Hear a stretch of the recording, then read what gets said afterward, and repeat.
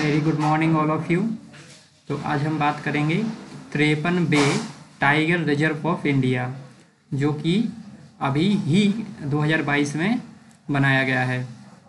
ठीक है तो देखते हैं ये कहाँ पर लोकेटेड है। तो आप देख सकते हैं कि ये छत्तीसगढ़, मध्य प्रदेश और उत्तर प्रदेश के बॉर्डर मतलब ये यहाँ पर मध्य, उत्तर प्रदेश लगा हुआ है। यहाँ मध्य प्रदेश लगा है और यहाँ पर क्या है? छत्तीसगढ़ है। तो इस के यहाँ पर, इस साइड पर मतलब इस बॉर्डर पर ही पास में ही क्या है? गुरु घासीदास राष्ट्रीय उद्यान है। और यहीं पर एक और है तमूर पिंगला वन्यजीव अभ्यारण्य। तो दोनों को मिला के क्या बनाया गया है? तिरपनवा राष्ट्रीय उद्यान बनाया गया है। गुरु घासीदास राष्ट्रीय उद्यान को कोरिया ज़िले में गुरु घासीदास राष्ट्रीय उद्यान कहाँ है? कोरिया ज़िले में है, जबकि तमोर पिंगला वन्यजीव अभ्यारण्य छत्तीसगढ़ के उत्तर पश्चिम कोने के सूरजपुर ज़िले में है। तो सूरजपुर ज़िले और कोरिया ज़िले को संयुक्त रूप से गुरु घासीदास और तमूर पिंगला वन्यजीव अभ्यारण्य दोनों को मिला के संयुक्त रूप से यह तिरपनवा टाइगर रिज़र्व बनाया गया है। अच्छा यहाँ से कौन सी नदी बहती है? तो आप देख सकते, पहले तो लोकेशन देख सकते हैं कि ये कहाँ पर है, ठीक है? तो यहाँ पर आपको दिख जाएगा। यहाँ से बहने वाली कौन सी नदी है? तो नदी जान लेते हैं, नदी कौन सी है? बनास नदी। ये क्या है? गुरु घासीदास राष्ट्रीय उद्यान से होकर बहती है और यह 512 किलोमीटर लंबी है। और किसकी सहायक है? ये चंबल नदी की। और चंबल नदी किसकी सहायक है? यमुना नदी की। और यमुना नदी किसकी सहायक है? गंगा नदी की। अच्छा गंगा नदी कहाँ जाती है? गंगा नदी बहते हुए जाती है बांग्लादेश में, जो कि ब्रह्मपुत्र नदी से मिलती है। तो पद्मा के नाम से और मेघना बनाते हुए अंत में कहाँ गिर जाती है? बंगाल की खाड़ी में। तो इस प्रकार से ये नदी फ्लो करती है। अब देख लेते हैं। कि अच्छा इसके लिए कोई कानून है जो टाइगर रिज़र्व बनाने के लिए? तो बिल्कुल है। तो तो राष्ट्रीय बाघ संरक्षण प्राधिकरण एनटीसीजी ने गुरु घासीदास राष्ट्रीय उद्यान और तमोर पिंगला वन्यजीव अभ्यारण्य के संयुक्त क्षेत्र को टाइगर रिज़र्व के रूप में नामित किया है। यह भारत का कौन सा है? तिरपनवा टाइगर रिज़र्व है। तो एनटीसी ने गुरु घासीदास राष्ट्रीय उद्यान और तमोर पिंगला इस संयुक्त क्षेत्र को किसके रूप में नामित कर दिया है? टाइगर रिज़र्व के रूप में। तो नामित कौन करता है? ये। और हम आगे देखेंगे कि ये बनाने का क्या प्रावधान होते हैं और तो नामित तो कर दिया एन ने, राइट? अब देखो तमोर पिंगला वन्यजीव अभ्यारण्य की पहचान 2001 में सरगुजा जसपुर हाथी रिज़र्व के हिस्से के रूप में की गई थी, राइट? तो सरगुजा जसपुर हाथी रिज़र्व के हिस्से के रूप में किसको की गई थी? तमोर पिंगला की पहचान 2011 में। और वहीं गुरु घासीदास राष्ट्रीय उद्यान ये क्या है कि जब मध्य प्रदेश का विभाजन नहीं हुआ था तो उस समय संजय गांधी राष्ट्रीय उद्यान का हिस्सा था। ठीक है तो ये तो हो गई करंट की बात की करंट में न्यूज़ क्या है। अब थोड़ा सा इसका स्टैटिक पार्ट देख लेते हैं कि आखिरकार क्या होता है रिज़र्व कंजर्वेशन तो कंजर्वेशन ऑफ़ बायोडाइवर्सिटी तो कंजर्वेशन ऑफ़ बायोडाइवर्सिटी में हमें क्या देखना होता है? एक तो इंस्टीट्यूट तो कंजर्वेशन क्या होता है? जो कंजर्वेशन मतलब संरक्षण करना। किसका? जैव विविधता। तो जैव विविधता का संरक्षण किस प्रकार से की कर सकते हैं हम? एक तो हम कर सकते हैं इन सीटू कंजर्वेशन और एक ex situ conservation in situ मतलब ये उसी स्थान पर, जहाँ पर है ऑन साइट पर। और एक्स सीटू मतलब कहीं बाहर। ठीक है? कहीं बाहर जैसे कि मान लो कहीं किसी दूसरी जगह की प्रजाति है, कहीं दूसरी जगह लगा दिया।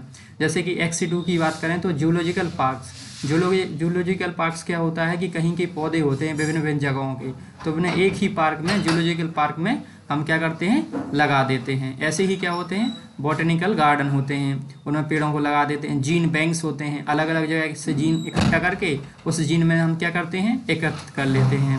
वहीं पर क्रायो रिजर्वेशन क्रायो प्रिजर्वेशन ऐसा होता है जहाँ मतलब हिली एरिया हो, बहुत ही निम्न ताप पर क्या करते हैं? माइनस दो सौ तिरसठ टेम्परेचर पे क्या होते हैं? वहाँ पर अपन संरक्षण करते हैं। तो इस प्रकार से आप देख सकते हैं कि एक्स सी टू में अलग अलग जगह से ला के जीव जंतुओं या पर वनस्पतियों को वहाँ पर अपन क्या कर देते हैं? कंजर्वेशन करते हैं। वहीं पर एक्स इन सीटू क्या है? वो ऑन साइट पर होता है। जहाँ है, वहीं। किस रूप में कर सकते हैं? नेशनल पार्क कर सकते हैं। वाइल्ड लाइफ सेंचुरी हो सकती है। बायो रिज़र्व रिजर्व्स होते हैं। सेक्रेट ग्रुप्स होते हैं। सेक्रेट सेक्रेट ग्रुप्स मतलब पवित्र उपवन होते हैं। तो national park wildlife sanctuary bio biosphere reserve और सेक्रेट ग्रुप्स अच्छा बायो रिज़र्व भी होते हैं। एक तो जल वाले और एक थल वाले। तो मरीन और स्थल वाले। तो इस प्रकार से हम देख सकते हैं कि एक्स और इन में कौन सा संरक्षण किया जाता है। तो एन सी टू में national park life sanctuary bio reserve और सेक्रेट ग्रुप्स और कम्युनिटी रिज़र्व और कंजर्वेशन रिज़र्व भी शामिल होते हैं। देखो इन सिटू इन सिटू क्या है? In situ conservation means on city on site क्या? ऑन साइट जहाँ पर है, वहीं पर। Conservation is protect of species within the natural habitat of species of animals and plant तो प्लांट हो या एनिमल्स हो तो उनको जो नेचुरल हैबिटाट है, वहाँ जीव जंतुओं का स्पीसीज़ों का उनको क्या करना होता है? प्रोटेक्ट करना होता है, ठीक है? In it includes protection in the wildlife sanctuary अब ये किस प्रकार से हो सकता है? इसका जो प्रोटेक्शन करना है तो या तो वर्ल्ड लाइफ सेंचुरी के रूप में नेशनल पार्क के रूप में बायो रिज़र्व के रूप में, इत्यादि ई that have been form to protect threatened and even rare species जो क्या होती हैं, जो थ्रीटेंड हो और जो संकटग्रस्त हों, और हम कहें कि जो रेयर हो रेयर रेयर हो मतलब बहुत कम मिलती हों तो ऐसी स्पीसीज़ को हम इन इन क्षेत्रों में क्या करते हैं? प्रोटेक्टेड एरियाओं में हम कंजर्वेशन करते हैं। अच्छा तो इंडिया में देखते हैं कि वी हैव प्रोटेक्टेड एरिया तो प्रोटेक्टेड एरिया में क्या क्या होता है? एक तो देखो, हमें अपडेट करते रहना। जैसे अभी तिरपनवा बनाया गया है तो इस तरीके से हम तिरपनवा हमने जोड़ लिया यहाँ पर और हम आगे बढ़ गए। लेकिन हमें कोर वाला तैयार रखना है। तो बिल्ड लाइफ प्रोटेक्शन एक्ट उन्नीस सौ बहत्तर, ये भी आपको तैयार करना है। Wildlife protection wildlife W L S national park wildlife wildlife sanctuary national park bio reserve community reserve और कंजर्वेशन रिज़र्व तो ये जो क्षेत्र हैं ये होते हैं हमारे किसमें? जो है हम कहें इन सिटू ठीक है? अच्छा।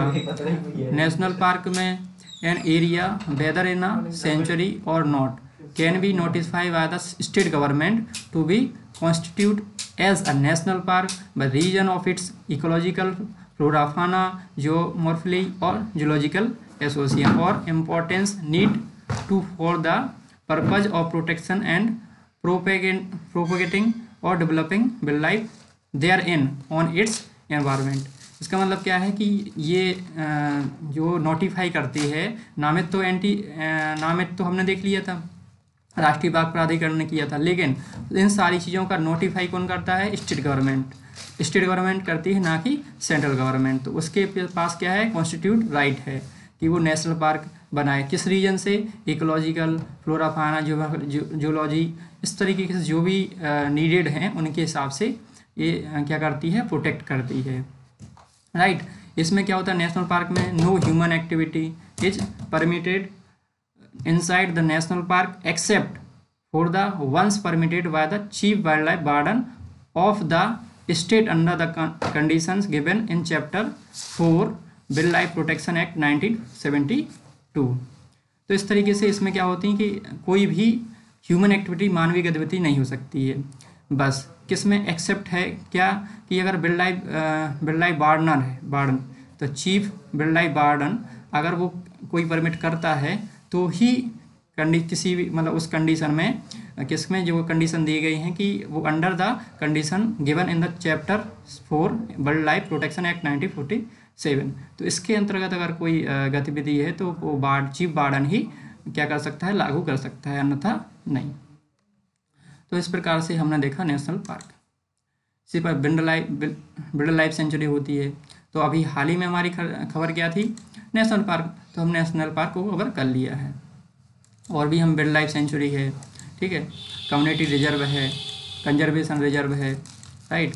बायो रिज़र्व है। अच्छा इसके बारे में बताऊँ कि बायो, बायोस्फीयर रिज़र्व जो होता है, उसके लिए एक्ट नहीं होता है। वो एक इंटरनेशनल कन्वेंशन होता है। उसी के अंतर्गत इसको हम कंसिस्ट करते हैं। ठीक है? तो आज के लिए इतना ही। Thank you very much